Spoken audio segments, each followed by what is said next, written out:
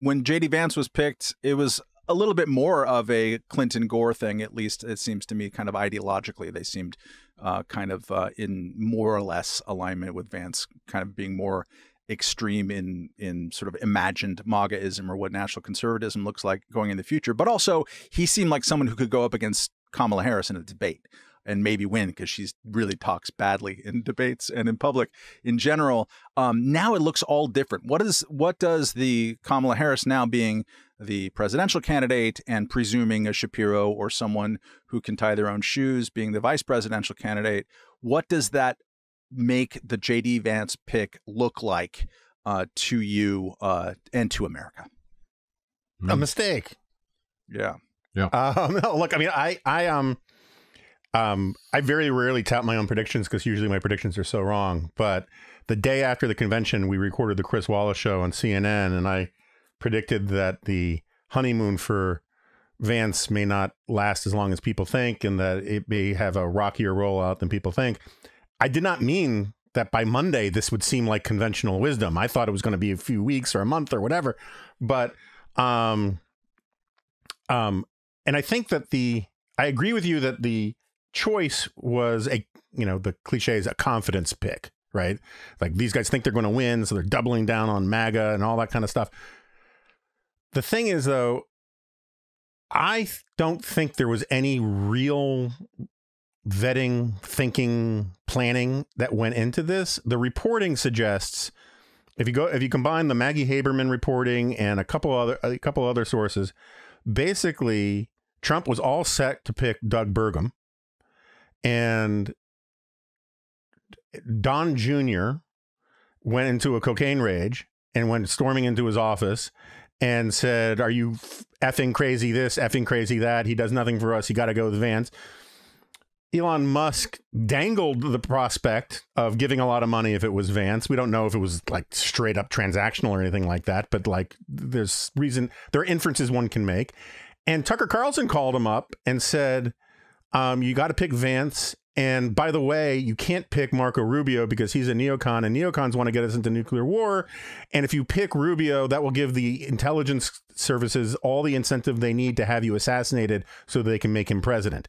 So this does not suggest a careful vetting process where they did things like listen to his podcast appearances and said, "Hmm, would this be a problem?" You know, um, I don't. I, I'm very curious. I want to know whether or not the team, anyone on the Trump campaign went and listened to his old podcast appearances and TV appearances and said, Ooh, this could be a problem, or Oh my God, this is awesome. Did you hear the thing about the childless cat ladies? That's friggin' yeah. fantastic. It gets better the further away in the past it is. Yeah. Yeah. And so the, or did they not even bother to do any of that stuff at all? Right. And so I don't think it was like there was a lot of strategery that went into this pick.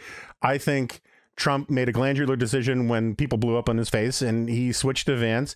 And um, the fact that Vance's convention speech kind of sucked showed that he doesn't have a lot of great political chops because a great politician would at least know, hey, this isn't a speech for me or this, you know, like rewrite this. This isn't working, you know, like in maybe actually get some of the good stories other than my, you know, grandmother's F bombs um, from my best selling, you know, autobiography. Uh, he did none of that.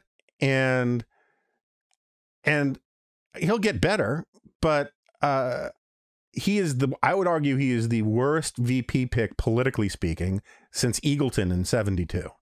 Um, I think that's a little hard on Eagleton. We've talked about Eagleton because we're we're big fans of voluntary ele- electroshock treatment. Yes. It can be quite delightful. Yeah, fair, fair. Um, I think he's more in a Dan Quayle category or a Spiro Agnew. Yeah, uh, but all pick. of them provided bumps yeah. after the pick right? The, there was there was there were political, at least short term political benefits. Sarah Palin was yeah. a huge gift. Oh, she was a great pick. She was a great pick on paper. Later, yeah. she kind of unraveled, right? But at the time, she she didn't hurt the ticket at all.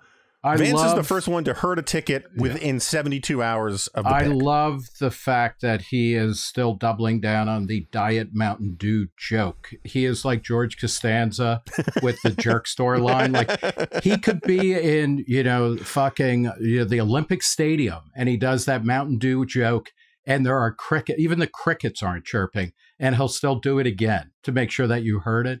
Uh, he's really bad. I think, Matt, his, uh, you know, uh, this it doesn't uh, uh, conflict with what Jonah said, but he he is a broligarch, and he brought in oh, already money. using that.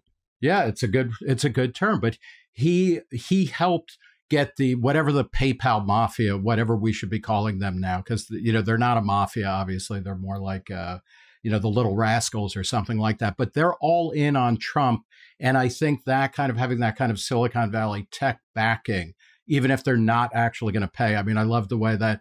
Uh, Elon Musk immediately and publicly walked away from saying, you know, like I, I didn't pledge any money. What are you talking about? He could have shares in Twitter or something like that.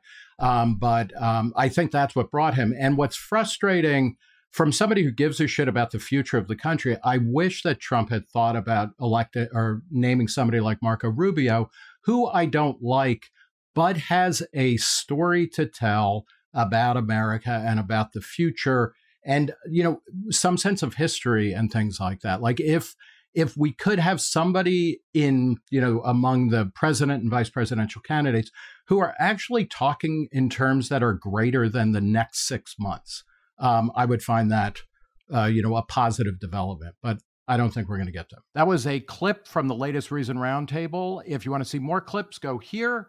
If you want to see the whole episode, go here. Make sure to subscribe at Reason's YouTube channel or wherever you listen to podcasts. Thanks for listening watching, or both.